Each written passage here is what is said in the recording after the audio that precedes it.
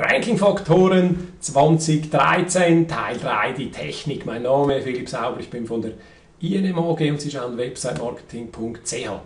Searchmetrics hat eine Studie herausgegeben zur Korrelation zwischen einer Maßnahme im Suchmaschinenoptimierungsbereich und dem Ranking. Ich habe die letzten beiden Male über den Impact von sozialen Netzwerken und von Backlinks berichtet. Heute geht es ums Thema Technik. Schauen wir uns das gleich an.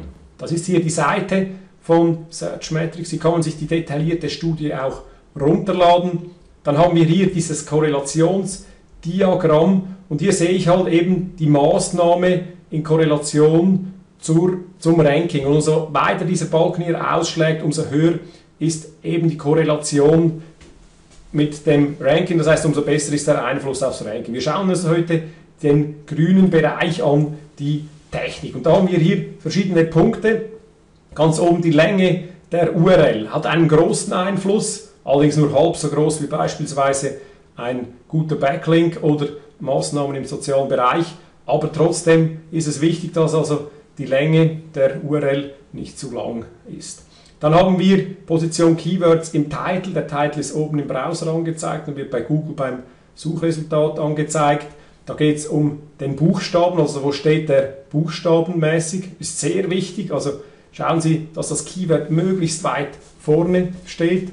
Dann URL ist keine Subdomain. Es gibt immer noch sehr viele Firmen, die mit Subdomains arbeiten. Das hat keinen positiven Einfluss, im Gegenteil auf das Ranking. Position, Keyword im Titel drin. Also da geht es darum, dass ich nicht zuerst einen Haufen Wörter schreibe vorneweg, sondern eben möglichst schnell mit dem Keyword da reinkomme. Hat direkten Zusammenhang mit dem hier oben also meistens nicht unbedingt, wenn Sie einen langen Firmennamen haben, den vorher bringen, sondern eben vorher das Keyword. Dann die Description hat auch zugenommen, Keywords in der Description drin, auch ein wichtiger Faktor. Was abgenommen hat, ist interessant, das Keyword in der Domain. Das wurde schon vor einem Jahr angekündigt, nun ist es also soweit, Keyword in der Domain drin bringt nicht mehr sehr viel oder vor allem viel weniger, als es eben mal gebracht hat. H2, das sind die Überschriften, die Existenz von H2 ist immer noch ein positiver Faktor, auch die Existenz einer Description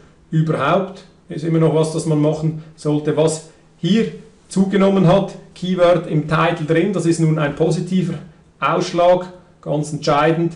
Videointegration freut mich besonders, wirkt sich positiv aus, vor allem aber auch Bilder, das sehen wir dann beim Content.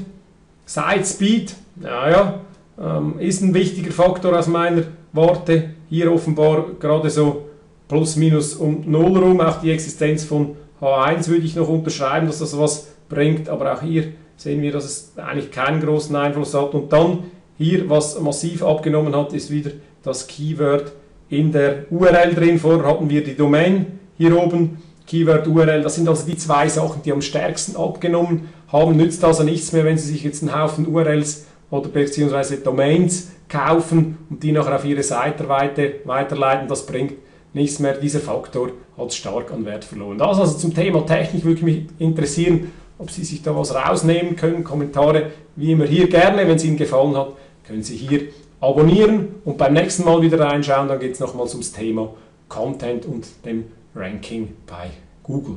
Mein Name Philipp Sauber, ich bin von der INM AG und Sie haben Website Marketing.ch geschaut.